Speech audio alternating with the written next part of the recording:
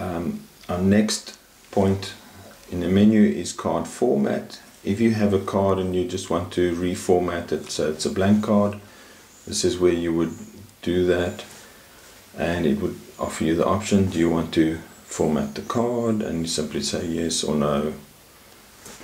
Of course all the data that you recorded previously would have been lost. The format was completed yes.